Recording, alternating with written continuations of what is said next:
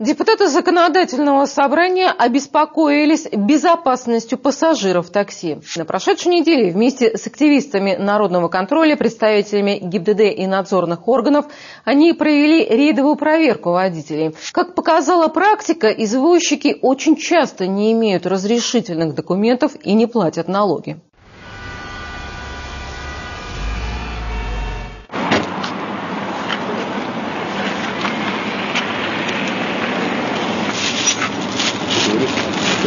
Путевого листа нет, да? Путевой лист отсутствует. А в страховке есть галочка, что это такси?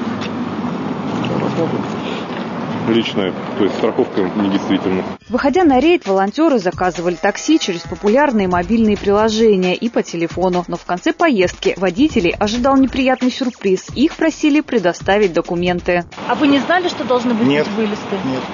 А давно работаете в С такси? 1 марта. А, то есть недавно работаете Да. и ни разу не получали Нет. путевой лист? Кроме путевых листов, у таксистов чаще всего отсутствовали отметки о преддействовом осмотре, не было разрешения на перевозку пассажиров, а кто-то из извозчиков и вовсе пытался пойти в отказ. Это знаком ваш или нет? Вы сказали, я вечером за ней приеду, Да. моя знакомая.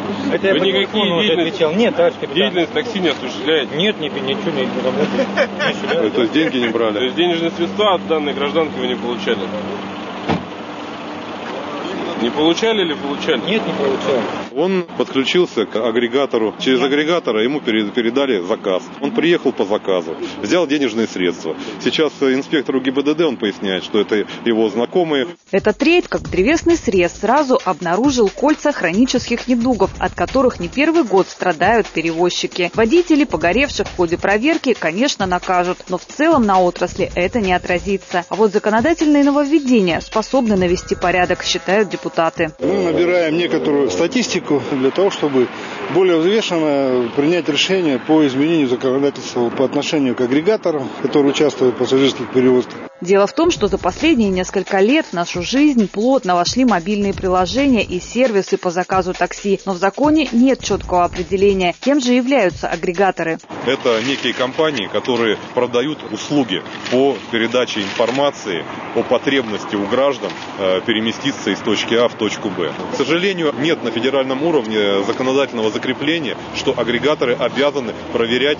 наличие разрешения на осуществление деятельности у тех, кто подключается к этим агрегаторам. Тем не менее, в ноябре прошлого года прокуратура посчитала незаконной деятельность ООО «Лидер Н», которая выполняла функции диспетчерской службы, не удостоверившись в адекватном состоянии водителей, наличии у них прав и техосмотра. В итоге суд удовлетворил требования прокуроров. В ходе мартовского рейда выяснилось, что так работают и другие компании. При проверке пяти транспортных средств было выявлено, что все пять водителей осуществляют перевозку пассажиров в качестве такси нелегально. Отсутствуют путевые листы, отсутствуют предрейсовые медицинские осмотры, а также транспортные средства. Все пять не были проверены на предмет технического состояния транспортных средств. В пресс-службе Яндекс Такси нам сообщили, что приветствуют любые подобные проверки, а партнеров-аутсайдеров обещают отключить от заказов до устранения нарушений. Между тем, накануне Международного дня таксиста портал Зарплата.ру исследовал спрос и предложение в этом сегменте. Количество вакансий для таксистов в Новосибирске за два года выросло в три с половиной раза. При этом наибольший рост произошел за последний год с начала 2017